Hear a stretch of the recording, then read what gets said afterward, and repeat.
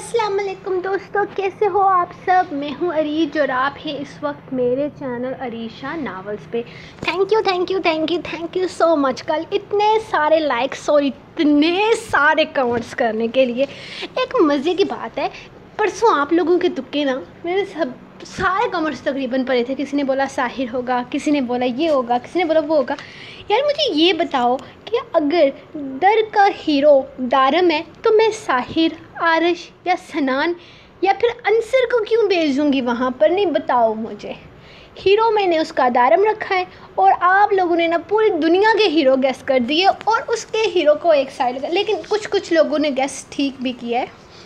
लेकिन ये मुझे बड़ी है मतलब हैरानगी हुई है, हैरत हुई है कि वाकई यार मतलब मैं किसी और को क्यों भेजूँगी? चले अब फजूल की बातें नहीं करते। आज वैसे भी मैं सुबह सुबह आ गई हूँ। नहीं ये नहीं कि, मैंने उस दिन बोल दिया था सुबह सुबह आ गई हूँ। तो कहते हैं आपकी सुबह रात के दस बजे होती है। नहीं नहीं मेरी सुबह दस बजे नहीं होती बस ही बता रही हूँ कि जब मैं जल्दी आ जाती हूँ तब मैं कहती हूँ मैं सुबह सुबह आ गई। मेरा अपना ही इंग्लिश उर्दू अलग अलग है।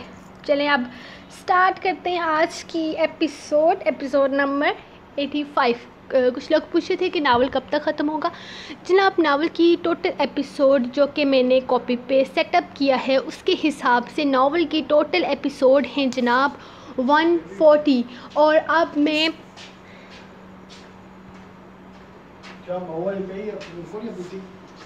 मैं तना पीनी मैं तना पीनी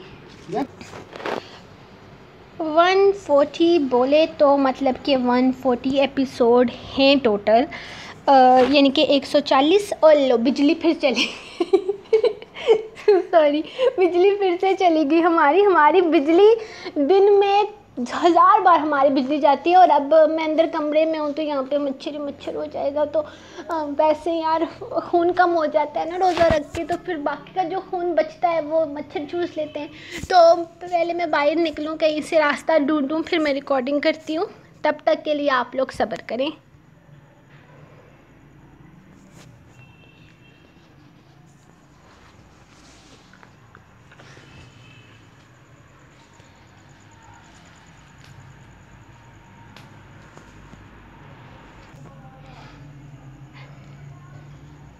ये मैंने बंद की थी रिकॉर्डिंग ट्वेंटी पे और रिकॉर्डिंग जाके ऑन हुई है चालीस सेकंड पे। कहीं मेरी पर्सनल बातें भी ना बीच में रिकॉर्ड हो गई हूँ, जो आपको बताने वाली नहीं है। तो चलिए स्टार्ट करते हैं। अब मैं आ गई हूँ भाई के रूम में। भाई के कमरे में एसी वगैरह चल रहा था तो यहाँ पे मच्छर नहीं होंगे। तो अब हम स्टार्ट करते हैं। दस्तेदार किस्त नंबर एट्टी फाइव तहरीर अरीज शाह। वो रात देर तक इसका इंतज़ार करती रही, लेकिन वो नहीं आया। रात के दो बजने वाले थे और दारम साईं गायब था। दारम साईं, क्या आप मुझसे नाराज़ हैं? वो इसकी तस्वीर देखते हुए बोली। इसकी आँखों में वीरानी उतरने लगी थी। इसे दारम की नाराज़गी का सोच कर बुरा लग रहा था। नहीं, आप मुझसे नाराज़ नहीं हो सकते। आप मुझसे बहुत बहुत बहुत ज़्यादा मोहब्बत करते हैं। मैं तो आपका दिल हूँ। कोई अपने दिल से कैसे नाराज़ हो सकता है?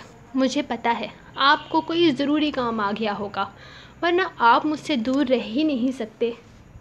इसने खुद ही अपनी बेचैनी का जवाब दिया था।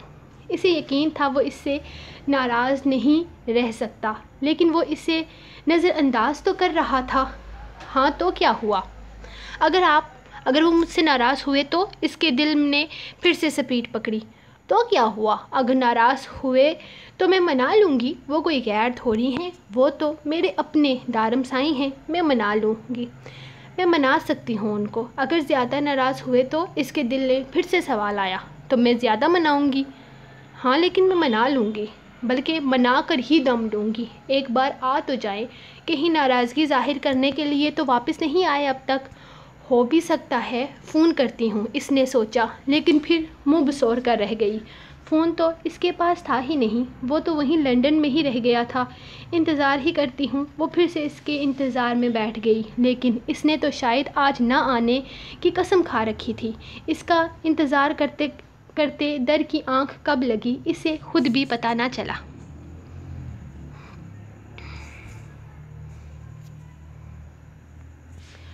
वो सो रही थी, जब अचानक इसे उपकाई आने लगी।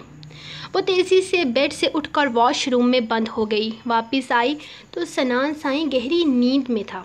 लेकिन जब इसे नींद नहीं लेकिन अब इसे नींद नहीं आ रही थी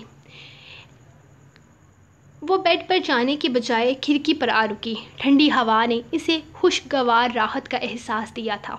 इसके लबों पर खुद ब खुद मुस्कुराहट आ गई थी, जब नज़र नीचे लॉन की जानब गई, जहाँ इसे मुस्कान खरी नज़र आई। वो वहाँ क्या कर रही थी? वो भी रात के इस वक्त? और आजकल वो ज़्यादातर इसी के साथ ही रहती थी। ताकि इसके यहाँ आने का मकसद जान सके। इसने साहिर शाह की जान लेने का खुद अपने कानों से सुना था। वो यहाँ साहिर शाह की जान लेने की नीयत से आई थी, लेकिन सनान साई और इसने मुस्कान पर खुद पूरी नज़र रखी हुई थी। यहाँ तक कि पुलिस को भी अलर्ट कर रखा था। ये अलग बात थी कि साहिर ने ये बात हँसी में टाल दी थी और दारम ने यकीन ही नहीं किया था। इसलिए अब वो इसके हर मोमेंट पर खुद नज़र रखे हुए थे, लेकिन इसके बाद इसने कोई ऐसी हरकत की ही नहीं थी जिसकी बिना पर वो इसके ख़िलाफ़ कोई एक्शन ले सके। ये लड़की बहुत तेज़ थी। आसानी से इनके हाथ नहीं आने वाली थी। इसने अपना फ़ोन सबसे छुपा कर रखा था, लेकिन जरनीश ने इसके फ़ोन को भी देख रखा था और इसकी गैर मौजूदगी में फ़ोन ढूँढने की भी बहुत कोशिश कर चुकी थी, लेकिन वो मिला ही नहीं, वरना वो इसका फ़ोन दारम साई के हवाले करती, लेकिन इस वक्त इसके हाथ में इसका फ़ोन भी था। लाइट वापस आ गई है और मैं अपने कमरे में वापस जा रही हूँ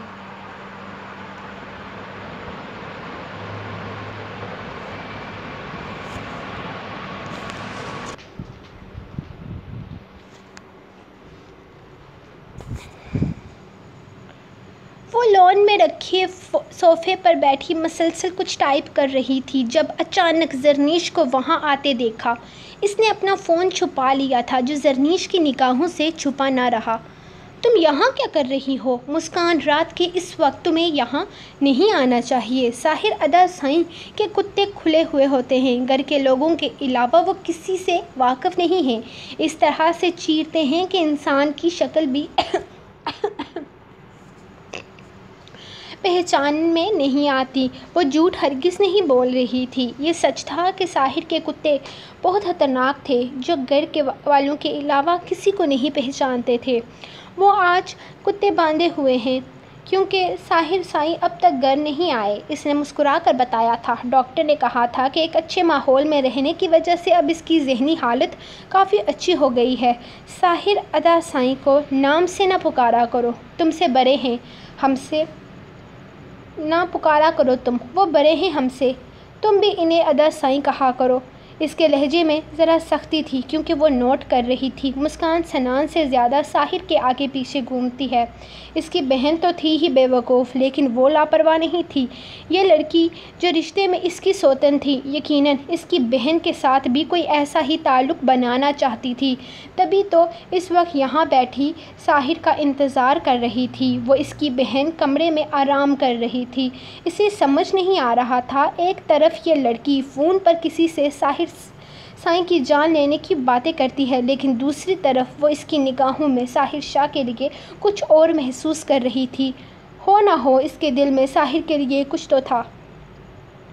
वो अपनी ही सोचों में गुम थी जब मेन गेट खुला और गाड़ी अंदर दाखिल हुई। वो दोनों गाड़ी से उतर कर इन्हीं की तरफ़ आए थे। ये कौन सा वक्त है गप्पे मारने का? जाओ कमरे में। तुम, सर सर्दी में यहाँ नहीं रुकना चाहिए। तुम्हारे लिए ठीक नहीं है। दारम साई मुस्कान को नज़रअंदाज करता जरनीश से मुहातिब हुआ। जबकि जरनीश का ध्यान तो मुस्कान के चेहरे की तरफ़ था जो साहिर को देख रही थी। आज तो अच्छा हादसा थक गया। मैं छत पर जा रहा हूँ। वो दारम से कहता, आगे बढ़ गया था, जबकि मुस्कान अभी गुड नाइट बोल कर चली गई। अदा साई, इस मुस्कान पर नज़र रखें। इसकी साहिर अदा साई पर नीयत ख़राब है। वो पूरे यकीन से बोली, इसकी राजदाना अंदाज पर पहले तो दारम हैरान हुआ, फिर इसका कहका बेसाख्ता था।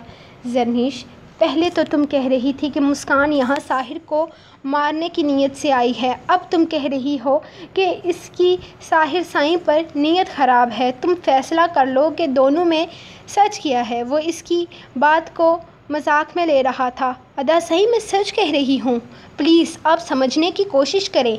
यह मुस्कान, ज़रूर कोई गेम खेल रही है। वो इसे यकीन दिलाते हुए बोली, जरनीश बेटा तुम इसके बारे में बहुत ज़्यादा सोच रही हो और कुछ भी नहीं। देखो, इसकी केयर करो। वो एक बार ठीक हो जाए तो मैं इसे वापस भेज दूँगा। वो सारी ज़िंदगी यहाँ नहीं रहेगी। मैं इसे एक महफूज फ्यूचर देना चाहता हूँ। मैं एक बार, वो एक बार ठीक हो जाए तो मैं ख़ुद इसे भेज दूँगा। तुम फ़िक्र मत करो। वो कभी भी तुम्हारी ज़िंदगी में इंटरफेयर नहीं करेगी। मैं बेवकूफ़ नहीं हूँ कि अपनी बहन की सोतन को इस घर में जगा दूँगा। मुस्कान, तुम्हारा मसला नहीं है। और अगर इसकी साहिर साई पर बुरी नज़र है तो तुम अपनी बिल्ली को बता दो, वो खुद संभाल लेगी। और फ़िक्र करने की ज़रूरत नहीं है, मेरी बिल्ली पंजे भी मार लेती है। वो मुस्कुरा कर इससे कहता, छत की जानब चला गया, जबकि वो ये सोच रही थी कि अगर ये बात इसने जाविश के कानों से निकाल दी कि इसकी साहिर शाह पर गंदी नज़र गंदी वाली नज़र है तो वो मुस्कान का क्या हाल करेगी? क्योंकि वो तो बचपन से ही अपनी चीज़ों पर किसी की नज़र बर्दाश्त नहीं करती थी। साहिर शाह तो फिर इसका शोहर था। मैं कल ही जाविश को बताऊँगी, इसने सोचा और अपने कमरे की जानब चली गई। क्या बात है साहिर साई, तुम इतनी जल्दी में ऊपर क्यों आ गए हो? हैरियत तो थी ना, वो ऊपर आते इससे सवाल करने लगा तो साहिर ने एक निगाह इसकी जानब देखा। हा हा हा हा। मतलब जरनीश का शक दुरुस्त है, गंदी नज़र है इस मुस्कान की तुम पर। वो कहका लगाते हुए बोला, क्या तुम्हारी नज़र में इस बात की कोई अहमियत नहीं? मेहंदी वाली रात ये लड़की मेरे पीछे किचन तक आ गई थी सर दारम साई, इसने बहुत अजीब तरीके से मुझे पकड़ा। वो गुस्से से बोला तो तुमने एहतजाज क्यों नहीं किया? क्योंकि मुझे लगा था कि मेरे पीछे जा वो कुछ बोलते बोलते रुक गया। जैसे याद आ गया हो कि वो किसके सामने बोल रहा है। क्या तुम्हें मुस्कान की पाँच फुट आठ इंच की हाइट मेरी बहन की पाँच फुट के बराबर लगती है? वो इसे देखते हुए सवाल करने लगा, मेरी आँखें पीछे नहीं हैं दारम साई। वो, और वहाँ अंधेरा था। फिर कैसे पता चला कि वो जाविश नहीं है? इसके हाथ पर मेहंदी नहीं थी। अंधेरे में शक्ल नज़र नहीं आई, कद नज़र नहीं आया, लेकिन मेहंदी नज़र आ गई। इसके लहजे में शक था। साहिर साईं को इसके अंदाज़ पर हँसी आई, दांत अंदर करो साहिर शाह, वरना मैं तोड़ दूँगा। बताओ, अगर तुम जान गए थे कि वो जाविश नहीं है तो क्यों इन्जॉय करते रहो, रहे? वो सख्त गुस्से में था। अरे दारम साईं, मुझे क्या पीछे से अलार्म हुआ, होना था कि वो जाविश नहीं है? मैं तो हाथ देख कर वो तो हाथ देकर मुझे पता चला। वो भी डाइनिंग रूम की लाइट ऑन थी, इसलिए वो तो जाविश आई तो इसने मुझे छोड़ा। इससे पहले कि मैं कुछ समझ पाता, वो मुझे छोड़ कर भाग गई। मैं इसके पीछे जाने लगा था कि जाविश आई। अब ये मत कहना कि मैंने जाविश में, जाविश को क्यों, किचन में क्यों बुलाया? था वो जल्दी जल्दी इस टॉपिक को ख़त्म करना चाहता था, लेकिन फिर खुद ही अपने पैर पर कुलाड़ी मार दी। अब दारम साई सीने पे हाथ बांधे, साहिर शाह के सवाल का जवाब चाहता था। मैंने बुलाया था। इसने अपने बालों में हाथ फेरते हुए बताया, इसकी मेहंदी देखनी थी, इस बार आवाज़ कम थी और चेहरा झुक चुका था। दारम साई से मज़ीद सीरियस ना रहा गया। दारम का कहका बेसाख्ता था, जबकि इसके कहके पर साहिर ने नाराज़गी से देखा, एक तुम्हारी बहन का सत्यानाश काफ़ी नहीं है, जो तुमने भी दिल जलाना शुरू कर दिया। तो मैं क्या करूँ? जो काम चाचू साईं आर साईं, सनान साईं, यहाँ तक कि मैं तक नहीं कर सका, वो मेरी बहन के सत्यानाश ने कर दिया तो क्या मैं खुश भी ना हूँ? खैर अब तुम्हें मुस्कान की टेंशन लेने की ज़रूरत नहीं है, क्योंकि जाविश की भी नज़र है इसकी हरकतों पर। सुबह तक बात तुम्हारी बीवी के कानों में पड़ जाएगी और मेरी बिल्ली इन चीज़ों को लेकर बहुत प्रोसेसिव है। नज़र उठाने वाले की आँखें फोड़ देगी मेरी शेरनी। डोंट वरी वो इसका कंधा थपथपाता, इसे रिलैक्स कर गया। पहले तुम ये क्लियर कर लो, तुम्हारी बहन बिल्ली है या शेरनी? इसके साथ हँसते हुए वो सीढ़ियाँ उतरने लगा। मेरे लिए वो जो भी है, मुस्कान के लिए क्या साबित हो गई? होगी, पता नहीं। वह कमरे में आया तो मलका आलिया बेड पर फैले आराम से सो रही थी। वहीं इसके करीब बैठे वह सिगरेट सुलगा कर इसे देखने लगा। सिर्फ़ ग्यारह दिन और जाविश, मैडम, तुम्हारी नींदें ना हराम कर दी तो नाम साहिर शाह नहीं। इसका चेहरा निगाहों में लिए। वो बेहद गैर महसूस अंदाज में इसके लबों को, अपने लबों से इसके लबों को छूता पीछे हटा था, जबकि इसके जवाब में सोई हुई जाविश ने मुँह बनाकर लबों पर हाथ फेरा, साथ में छोटी सी नाक को भी छू, छुआ था। गोया इसे, इसके मुँह से सिगरेट की स्मेल आई थी। तुम्हारी ये हिम्मत तुम मेरे लम्स को अपने होंठों से साफ़ किया? वो गुस्से से इसे देखता इसके चेहरे पर झुकने लगा। नो, मेरी मासूम लुमड़ी, नो।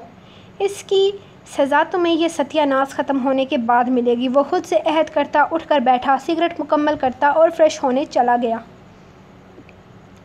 दारम साई ने कमरे में कदम रखा तो दर को सोते हुए पाया।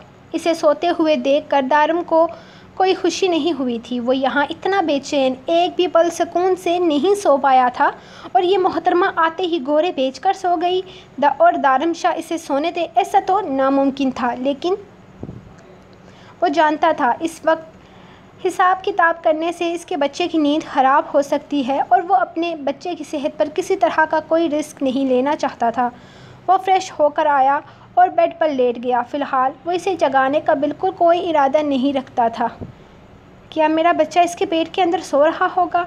इसने खुद से सवाल करते हुए इसे अपने निगाहों के हिसार में लिया।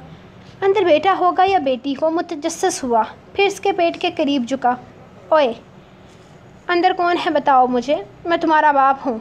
अगर तुम अंदर अगर तो अंदर लड़का है तो ध्यान रखना, ज़्यादा अकड़ दिखाने की ज़रूरत नहीं है। यहाँ कोई नहीं है तुम्हारे नखरे उठाने वाला। और जब तक अंदर रहना है, आराम से रहो। कोई उल्टी सीधी हरकत करने की ज़रूरत नहीं है। तुम्हारी माँ को तकलीफ़ नहीं होनी चाहिए।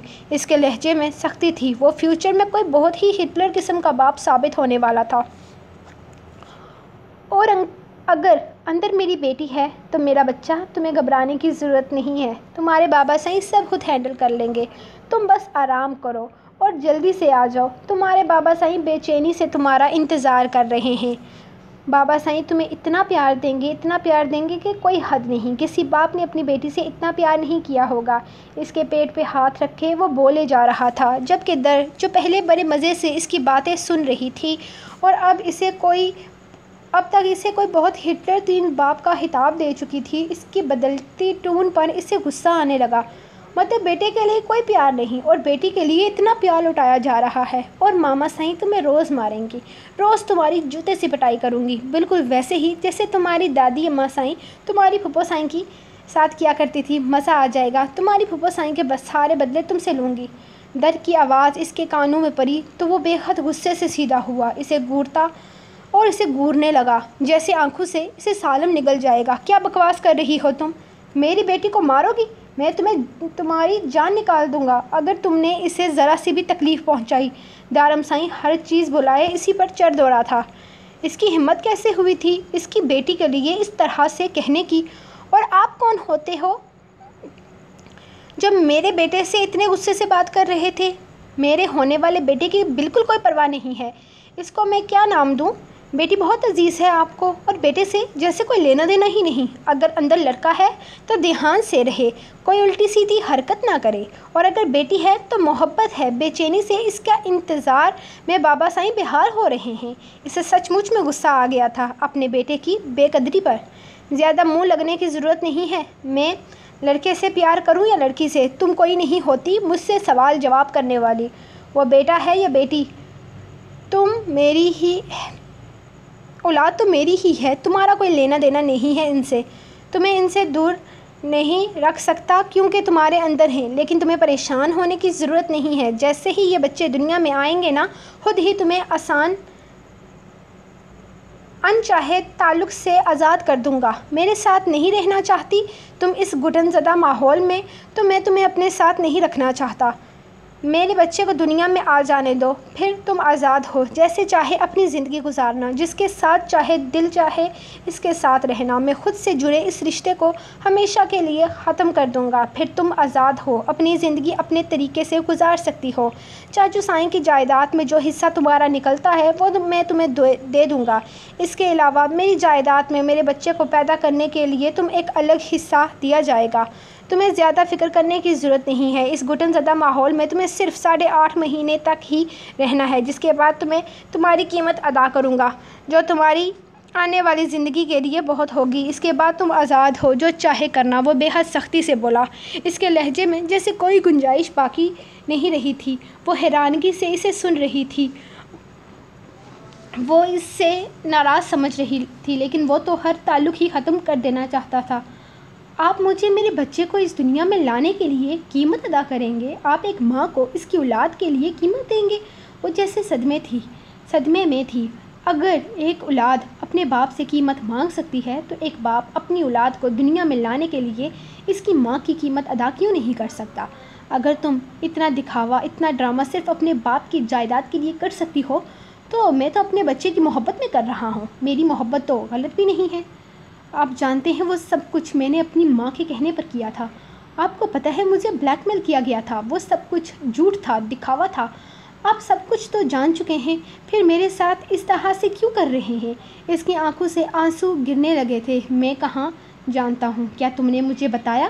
क्या तुमने मुझे बताया कि तुम्हें ब्लैकमेल किया जा रहा है? क्या तुमने मुझे बताया कि तुम्हारी माँ तुम्हारे साथ ये सब कुछ, तुम्हें ये सब कुछ करने पर मजबूर कर रही है?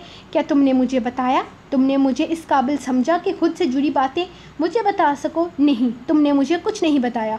मैं कुछ नहीं जानता और ना ही अब मैं कुछ जानना चाहता हूँ। और ना ही मैं मज़ीद तुमसे किसी भी तरह का कोई ताल्लुक़ रखना चाहता हूँ। रिश्ते एतबार और भरोसे पर कायम होते हैं, मिसिस दर नूर दारम शाह। और तुमने मेरा भरोसा तोड़ा है। और यकीन तोड़ने वालों को मैं कभी माफ़ नहीं करता। याद रखना, तुम्हारा फ़ैसला तुम्हें यहाँ लाने से पहले ही कर चुका था। और अब मेरा फ़ैसला कभी नहीं बदलेगा। वो गुस्से से कहता, कमरे से निकल गया। जबकि वो खामोशी से बस बंद दरवाजे को देखती रह गई। सो गाइस ये रही आप लोगों की एपिसोड और इन मिलेंगे। कल भी जल्दी देने की कोशिश करूँगी। गारंटी नहीं देती, लेकिन कोशिश करूँगी कि जल्दी लिख सकूँ। और जो लोग सरप्राइज़ सरप्राइज़ करते हो, बेटा, पूरा दिन तो मेरा ना पता नहीं पता नहीं कैसे कैसे गुजर जाता है। और फिर बिल्कुल इतनी हिम्मत नहीं रहती कि एपिसोड लिख सकूँ। बस यही कोशिश होती है कि मैं एपिसोड मुकम्मल कर सकूँ। और सरप्राइज़ लिखने की बिल्कुल जान नहीं होती, आपको भी पता है। और सरप्राइज़ अभी ईद के बाद ही मिलेगा, क्योंकि जैसे मैं बता चुकी हूँ कि नावल है ही long one forty plus episode fifty भी जा सकती हैं सिक्सटी भी जा सकती हैं। यानी कि जिस तरह से इतनी जल्दी हम एटी फाइव पर पहुँच आए हैं तो इन जल्दी ही इस नावल को ख़त्म भी कर लेंगे, क्योंकि मेरी अपनी रूटीन सेट है यही कोशिश होगी कि बिल्कुल छुट्टी ना करूँ और ऐसे ही आपको डेली देती रहूँ। लेकिन सरप्राइज़ एपिसोड रमज़ान में मेरे लिए तकरीबन नामुमकिन हो चुका है क्योंकि पहले तीन रोज़ों से मैं समझ चुकी हूँ कि रोज़े काफ़ी मुश्किल है और दिन में तो बिल्कुल होश ही नहीं रहता। ये है कि रात में आफ्टर अफ्तारी थोड़ा बहुत लिख लेती हूँ अगली एपिसोड और फिर शहरी से पहले थोड़ी बहुत लिख लेती हूँ। दिन में बिल्कुल कुछ नहीं लिखती, कुछ भी नहीं करती। सारा दिन जो रूटीन होती है रमज़ान में सबकी वही है। और सरप्राइज़ तो नामुमकिन है। नहीं दे सकती मतलब कि नहीं दे सकती। आप लोग उम्मीद भी मत रखो कि रमज़ान में मैं सरप्राइज़ का कुछ कर सकती हूँ। बस ये कोशिश होती है कि जो, मैं बड़ी मुश्किल से ये नहीं होती है कि तीन हज़ार तक या पैंतीस सौ तक लफ्ज़ लिखती हूँ। फिर मैं कोशिश करती हूँ कि कैसे भी मैं आगे भी लिख लूँ। और एपिसोड तकरीबन मैं कंप्लीट कर लूँ। और हो जाती है कभी कभी नहीं होती। ये है कि मेरी ये जो मेन चीज़ है, मैं कहती हूँ कि 20 मिनट तक की एपिसोड लंबी होनी चाहिए। मेरा एक एक मैंने वर्ड्स गिने होते हैं कि इतने मैंने लिखने और इतना मैंने करना है। जितना मैंने कॉपी पे लिखा होता है कि इतने मैं कर लूँगी, उतना ही मुझसे लिखा जाता है, नहीं लिखा जाता। और फालतू में नहीं लिख पाऊँगी। इन मैंने सोचा था कि मैं आप लोगों के लिए रमज़ान स्पेशल में कुछ लिखूँगी, लेकिन अकेडमी की जो थोड़ी रूटीन मेरी अचानक से सेट हुई है, वो काफ़ी टफ़ है। तो उसके साथ मैं फ़िलहाल नहीं लिख सकती और जुनूनीत नावल का मैंने टीज़र लॉन्च किया था कल तो वो आप लोगों को बहुत ज़्यादा पसंद आया। आप लोगों ने इतनी ज़्यादा तारीफ़ें की हैं। थैंक यू सो मच मैंने थोड़ी सी मस्ती भी की थी कि नहीं बताऊँगी कि रिलीजिंग डेट कब है, लेकिन इसके बाद मेरे एक और नावल का आपको पता है, दिया था एक छोटा सा प्रोमो दिया था, उसका नाम था सांसू में उतर जाऊँ। वो नावल बहुत ज़्यादा रोमांटिक है। इसीलिए रमज़ान में तो वो बिल्कुल नहीं आ सकता। आफ्टर इस नावल के बाद मैं वही लाऊँगी। और उसके बाद अच्छा जो नावल जुनूनीत है, इसका मैं आपको बता देती हूँ कि ये सिर्फ़ यूट्यूब पे आएगा। इसका फेसबुक पे कोई लेना देना नहीं है। कभी नहीं आएगा फेसबुक पे। तो इसकी स्टोरी बस ये है कि एक साइको हीरो है जो रियल साइको होते हैं। यारम दीवाना था मुकदम दीवाना था, लेकिन ये जो साइको बन है ना, मैं हमको जान भी काफ़ी था, लेकिन वो एक आर्मी बेस्ड नावल था, मैंने उसको सीक्रेट एजेंट रखा था। लेकिन अब जो मेरा नावल नेक्स्ट आ रहा है, उसमें ऐसा कुछ नहीं है। यानी कि जो अगली मेरी एपिस जुनूनियत है, उसमें एक पागल हीरो है, एक साइको हीरो है। तो उस पर मैं कहानी लिख रही हूँ और वो सिर्फ़ यूट्यूब पे आएगा, क्योंकि वो बहुत ज़्यादा रोमांटिक और रोमांटिक नावल मैं फ़ेसबुक पे अब दिया ही नहीं करूँगी। क्योंकि फ़ेसबुक पे देती हूँ तो लोगों की बातें भी सुनो, और फिर वो करो, उनको जवाब भी दो, उनके नखरे भी बर्दाश्त करो, और फिर क्या कहते हैं, आकर पढ़ते भी हैं, सब बातें भी करते हैं, लेकिन ये है कि यहाँ पे यूट्यूब पे बंदा एक बार ब्लॉक हो जाए तो सारी सारी ज़िंदगी वहाँ से वापस नहीं आ सकता। तो यहाँ पर वो जो एक्स्ट्रा साफ़ सुथरे लोग आते हैं ना, उनको मैं यहाँ से ब्लॉक कर देती हूँ, जबकि फ़ेसबुक पर नहीं कर पाती। इसलिए वो नावल सिर्फ़ फेसबुक पे आएगा। अब मेरी वीडियो लेट हो रही वीडियो ज़्यादा लंबी होती जा रही है, इतनी लंबी अपलोड ही नहीं होगी। तो आज के लिए लाफिस मिलते हैं कल के एपिसोड के साथ। तब तक के लिए राइटर दें इजाज़त और दुआओं में याद रखें। दाफिज़